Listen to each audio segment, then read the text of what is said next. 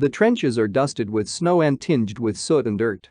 Dull colors will cling to them for weeks to come as the men inside search for enough cell phone signal to hear the latest from the distant capitals that will decide their fate. Moscow, Washington, London, Paris, Berlin, Vienna. Sometimes Kiev. But only sometimes. These Ukrainians are far from the Russian ships headed to a naval exercise off the coast of Ireland, from the American-built fighter jets streaming to the Baltics, and from the US aircraft carriers steadily sailing the Mediterranean.